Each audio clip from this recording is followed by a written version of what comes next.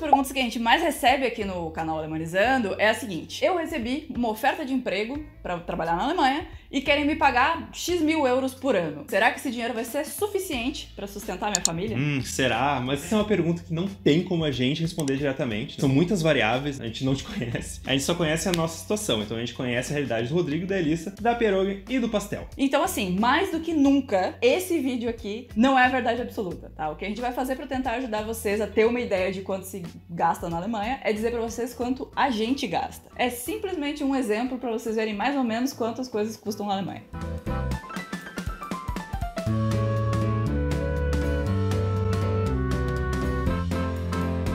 Da gente começar, só quero dizer pra você que esse vídeo aqui é muito baseado no conteúdo que tem no canal do Guri in London. Então vá lá assistir o vídeo dele também, tá aqui no card, e faz aí uma comparação, onde que é mais em conta viver, Berlim ou Londres. Então vamos começar pelo item que mais pesa no bolso, que é o aluguel. Esse com certeza é o principal custo fixo que tu tem na tua vida, né? E é o tipo de preço que tá aumentando muito aqui em Berlim. Existem várias leis que estão tentando ser passadas para controlar um pouco, né, o aumento dos preços, só que esse é o tipo de coisa que ainda tá em andamento, né? Então uh, não dá para confiar nisso, não dá para contar com isso neste momento atual. Obviamente é impossível dizer exatamente quanto custa o aluguel em Berlim, porque existem muitas variáveis, né? Casas, apartamentos, bairros, tananã. O que a gente vai fazer é dizer o quanto a gente paga de aluguel. Então, para ser bem direto, a gente paga 500 euros num apartamento de 50 metros quadrados no centro de Berlim. Atualmente, isso é basicamente impossível. A gente está morando aqui nesse mesmo apartamento há 5 anos e o aluguel não aumentou, né? Hoje em dia, um apartamento mais ou menos na mesma região, né, no mesmo tamanho, vai ser entre 800 e 900 euros, né? Então, o preço aí já aumentou bastante bastante nos últimos cinco anos. Já que o nosso aluguel é irreal para 2020, a gente vai deixar né, na descrição vários links de imobiliárias para você poder dar uma verificada, ver quanto são os preços de 2020. Um custo extra bem comum no Brasil é o condomínio, né? Só que o condomínio em si é um dos valores que está incluso neste aluguel que a gente já paga, né? Então o aluguel, digamos assim, cru é 420 e a gente paga 80 do condomínio, digamos assim, né? Um valor meio que equivalente a isso. Então nesses 500 que eu citei já inclui, por exemplo, a coleta de lixo, a limpeza dos corredores, as questões menores da manutenção do prédio. Junto com o valor do aluguel, normalmente, né, a gente vai ter que pagar várias outras coisas para viver numa casa também, né? As coisas mais comuns são eletricidade e gás. Aqui, a eletricidade e o gás, eles são cobrados de uma forma que é bem diferente do Brasil, eu acho. Sim, com certeza. Que normalmente a gente tem um valor fixo de cada uma dessas coisas, né? Um valor para cada, que a gente vai pagar mensalmente sempre a mesma coisa. Hum. E no final do ano, eles vão medir e ver se a gente realmente gastou mais ou menos aquilo ali, né? Ou mais ou menos.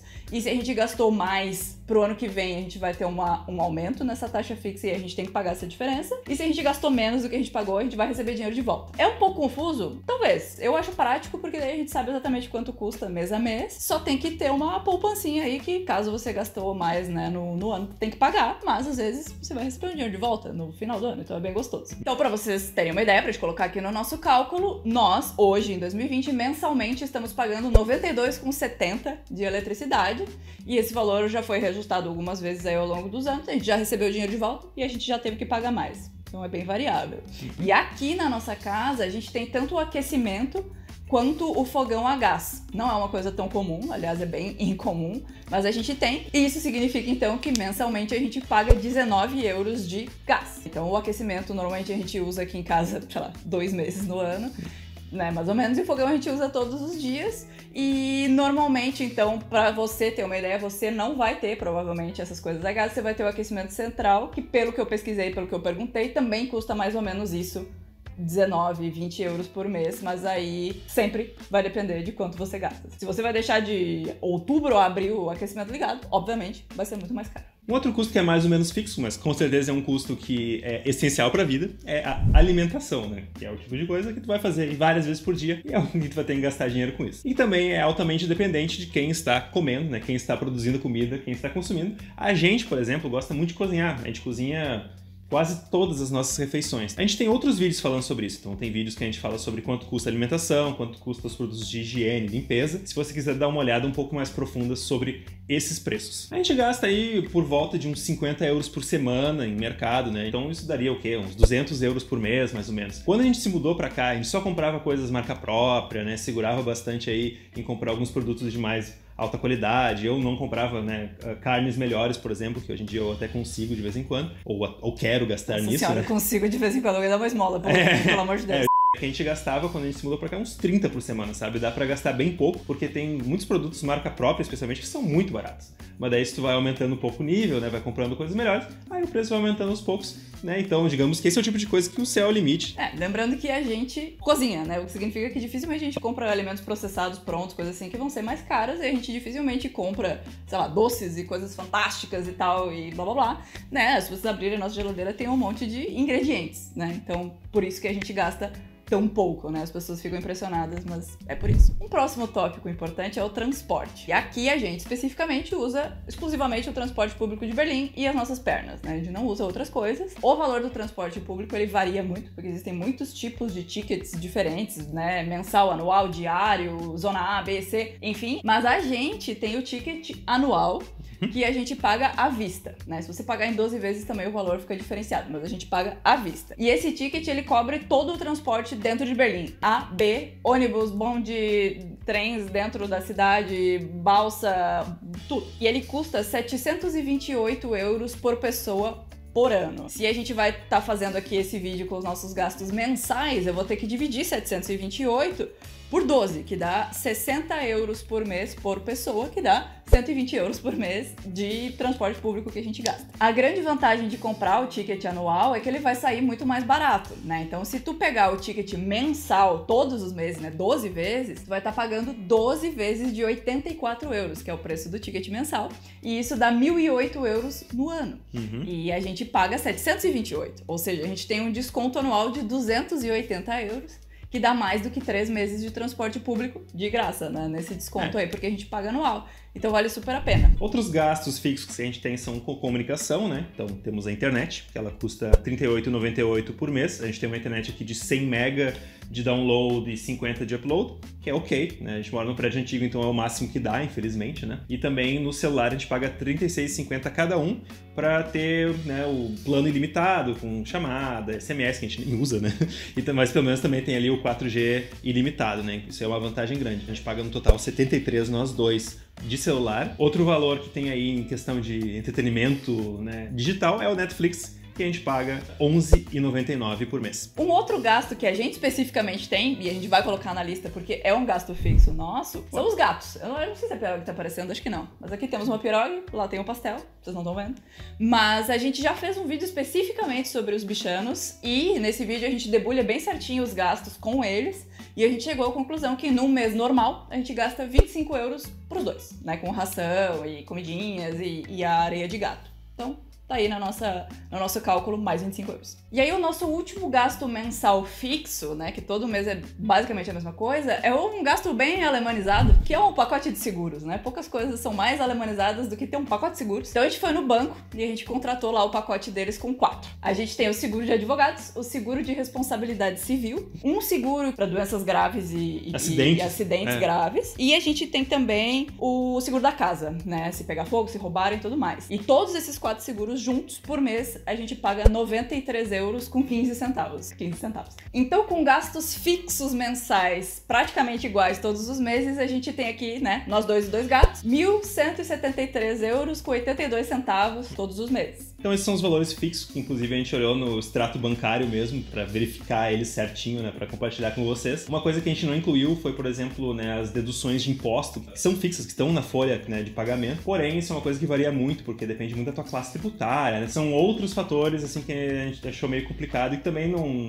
não faz sentido, porque se é, se é diretamente ligado ao quanto tu ganha, tu não vai ganhar exatamente igual ao que a gente ganha, então a gente não incluiu isso aí também. E justamente por não ter incluído isso, a gente acabou não incluindo o imposto do o seguro saúde, né, que também já é uh, deduzido direto da folha de pagamento. Então a gente tem né, saúde, seguro saúde normal da Alemanha, porém a gente não colocou aqui o preço porque também é diretamente ligado a quanto tu ganha. Mas assim, tenha em mente que o imposto aqui na Alemanha existe. Mas, né, a vida não é fixa. A vida não é só isso, não é só sobreviver. A vida é vida, é viver. Então é entretenimento, é diversão. Então a gente vai também aí, compartilhar com vocês mais ou menos quanto a gente gasta em entretenimento e tudo mais, para vocês terem também uma, uma ideia, né? Uma coisa que a gente gosta de fazer, por exemplo, é comer fora, né? Digamos que, né, que, que a gente vai duas vezes por semana, uma delas vai custar 20 euros para nós dois, que é quando a gente vai no kebab, quando a gente vai no burger, um lugarzinho mais simples. Aí vai ser 20 euros para nós dois. E depois uma refeição um pouco mais elaborada, um restaurante um pouco mais bacaninha, vai lá dar uns 30 para nós dois. Isso já é um restaurante, né, uma faixa mais tranquila, tem restaurantes né, muito mais caros, mas a gente gosta também de um lugar humilde. Então dá para calcular que a gente gasta aí 50 euros por semana em restaurante, que daria uns 200. Isso em situações normais, né? Hoje em dia a gente não tem ido tantas vezes em restaurante, infelizmente. Uma outra coisa que já não tá tão normal é ir no bar, né? Que antes do, da pandemia a gente ia no bar, né? Semanalmente, às vezes duas vezes por semana e tudo mais. Agora a gente não faz tanto isso. Normalmente quando a gente sai pra beber com os amigos, a gente vai em espete. Que recentemente aí o Rodrigo já explicou pra vocês no outro vídeo o que é um espete, que é basicamente um quiosque que vende álcool. E aí a gente pega e bebe na frente, na rua, no parque, na beira do rio, assim, a gente bebe na rua justamente por causa do, do, do vírus, né? É. Então, com isso fica muito mais barato do que beber em bar. Então eu arredondei aqui, é impossível saber, mas vamos dizer que a gente gasta 35 euros com cerveja pra nós dois por mês, tá? Só pra, pra ter uma ideia. Uma outra coisa que a gente gostava muito de fazer, né, que, né, que parou, é ir no cinema, né? Mas a gente ia bastante, dá pra dizer que a gente ia praticamente uma vez por mês, e o preço era ao redor de 15 euros por pessoa, duas pessoas, 30 euros por mês. Já colocamos aí na tabela também 30 euros por mês em cinema. Vou colocar aqui também outros 30 euros pra, sei lá, algum evento que aparece, né? A gente não sabe. É, festa, aniversário, assim, como é. presentinho, sei lá, só um valorzinho assim, né? Uhum. Porque é o tipo da coisa que não tem como prever, né? Esse mês, agora, setembro, teve 72 aniversários, a gente verdade. gastou aí, sei lá, uns 200 euros só em aniversário e presente. É não tem como saber. Então, claro que esses são valores meio por cima, mas né, eu acho que eles fazem sentido e o, o total do entretenimento deu uns 295 euros para nós dois por mês. Isso que a gente colocou na nossa tabelinha. A gente não tem outros gastos fixos ou, ou espontâneos porque a gente não é tão consumista, né? Bastante gente ah, notou no, no vídeo que saiu do Japão, que é um vídeo que na verdade foi gravado três anos atrás, que eu tô com uma camiseta, aquela do Mario, que eu uso até hoje, né? Na verdade, eu ainda tenho a camiseta que eu usei no primeiro vídeo, por exemplo. A gente cuida bem das coisas e se elas são de boas qualidades, elas vão durando e daí acaba que a gente não precisa comprar novas, né? Então a gente acaba não sendo tão consumista, assim, de, de ficar comprando roupinha ou, ou gadgets também muito, assim. A gente tenta manter as coisas, sabe? Em vez de ficar comprando coisas novas o tempo inteiro. Então, no total aí desses valores que a gente anunciou pra vocês, deu 1.468,82, né? Dá pra arredondar pra 1.500 por mês, que seriam os nossos gastos, que incluem não apenas os gastos fixos, mas também vida, né? Diversão, entretenimento, bebida, comida, restaurante, assim. Não é um sofrimento, né? É, a gente exato. não tá, A gente tá de não boa. tá faltando É. nada, né, com esse valor. Uhum. Esse valor, né, 1.500 mais ou menos por mês, vezes 12, dá 18 mil euros no ano. E normalmente, quando vocês vêm perguntar se o salário que foi oferecido é bom ou não é, esse salário é muito maior do que 18 mil euros por ano, porque normalmente é a galera das startups, né, que tá recebendo oferta de trabalho, e normalmente essa galera recebe um salário bem acima da média aqui da cidade. Então, assim, ah, é, meu marido recebeu uma oferta de 70 mil euros, será que dá pra viver? Dá, Dá, nossa. dá e sobra. Agora que a gente já estabeleceu aí mais ou menos quanto a gente gasta, e já estabelecemos também que um salário de programador dá pra viver muito bem, a gente gostaria de fazer um cálculo mental de como seria viver com o salário mínimo. E a gente só gostaria de deixar bem claro que, na verdade, o salário mínimo, né, ele foi estabelecido uns anos atrás, mas se tu tá ganhando o mínimo, na verdade, é um lugar meio ruim que você está, porque levando em conta que até o McDonald's paga acima do mínimo, quem paga o mínimo é porque... Patrão ruim. É, patrão ruim, Não, sabe? não caia nessa. Porque o mínimo, hoje em dia, inclusive, está 9,35 por hora, né? Ele tem esse cálculo por hora, mas é bem comum achar por 10 euros ou mais por hora. Mas considerando que você ganha né, o salário mínimo de 2020, que é 9,35, trabalha num período integral, que dá umas 40 horas por semana, tradicionalmente, vai dar 1.496 euros por mês bruto, antes dos impostos. E a gente gostaria também de lembrar que não adianta converter para o real, né? Porque esse valor em real hoje em dia vai dar bastante, né? Vai dar muitos reais. Só que os custos aqui na Alemanha são em euros, então tu vai acabar né, gastando em euros. Então não faz sentido ficar convertendo na cabeça, por mais que né, o número pareça bonito quando, quando convertido. Nesse caso aqui especificamente, como a gente está trabalhando com o valor certo, né, esses 1.400 que a gente está colocando como salário mínimo médio, a gente vai estar tá trabalhando com um orçamento bem baixo, então a gente vai precisar considerar os impostos também nesse cálculo. Eu calculei aqui para vocês porque existem calculadoras de imposto, né, online. E aí, assim, a taxação ela varia muito, como a gente já falou antes, né? Ela vai variar se tu é casado ou não, se tu tem filho ou não, quanto que tu ganha, várias coisas, mas eu imaginei aqui uma pessoa solteira que não tem filhos, que ganha o salário mínimo e que não tem religião, né? Porque tem o imposto da religião que a gente já explicou. Nesse cenário, uma pessoa que ganha 1.400 euros por mês vai pagar 20% de impostos. Então, no final das contas, essa pessoa vai ganhar 1.200 por mês, depois dos impostos. E aí sim, né? Como a gente começou antes com a moradia, a gente faz de novo. E uma pessoa que ganha 1.200 euros de salário hoje essa pessoa não vai poder arcar com um apartamento inteiro, provavelmente, né? Como a gente falou, hoje em dia tá 900 euros ou mais, né? Então a gente vai imaginar que essa pessoa provavelmente vai morar num apartamento compartilhado. A gente não tem experiência de morar em apartamento compartilhado, a gente só morou em apartamentos próprios, né? Mas pesquisando a gente viu que hoje em dia um quarto está por 500 euros, né? É possível achar por menos se tu for se olhar mais longe do centro da cidade, né? Também a qualidade dos móveis que tem dentro, mas costuma ter também pelo menos os móveis inclusos no quarto. Isso já é uma pequena vantagem. Então é meio absurdo pagar tudo isso por um quarto, né? Ainda mais considerando o que a gente paga, mas tem que considerar também que pelo menos já vai estar incluso também eletricidade, aquecimento, né? Internet. To internet, todas as, essas questões do lar já estarão inclusas no pagamento aí do apartamento compartilhado. Então a gente já tem muitos dos gastos base já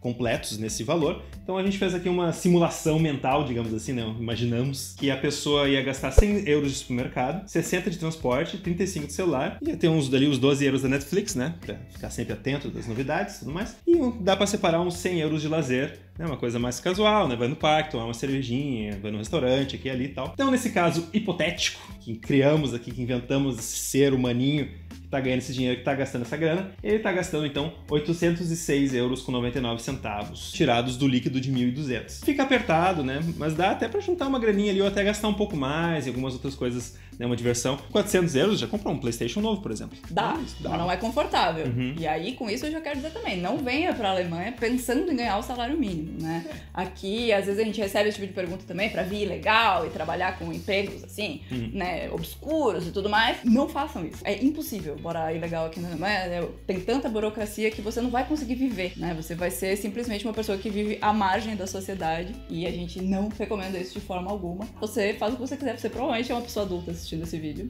mas... Então é isso, a gente fez aqui uma lista dos nossos gastos fixos para vocês verem se é interessante ou não. E a gente também fez aí um exercício de imaginação para ver se dá para viver ou não com salário mínimo. Se você gostou desse vídeo e achou ele útil, compartilha, passa para frente. Vamos aí chegar no 1 milhão de inscritos em 2020. Nossa, 2020! É isso aí, volto sempre então. Beijo, tchau, tchau. Tchau.